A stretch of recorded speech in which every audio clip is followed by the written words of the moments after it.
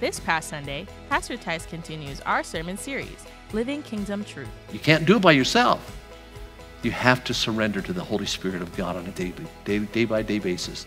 Then He will help you live what Jesus said.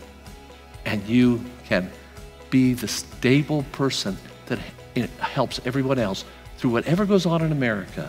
You can be the light, you can be the salt. To watch the entire message, please visit experienceliberty.com. The children's choir did an amazing job as they sang about our Lord and Savior. We welcome you to our services this Sunday.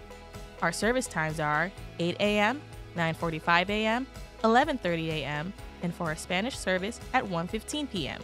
We hope to see you this upcoming Sunday at Liberty Baptist Church.